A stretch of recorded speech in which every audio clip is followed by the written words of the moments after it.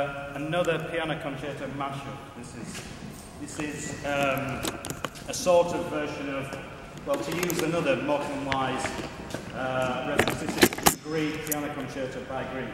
So, oh, so.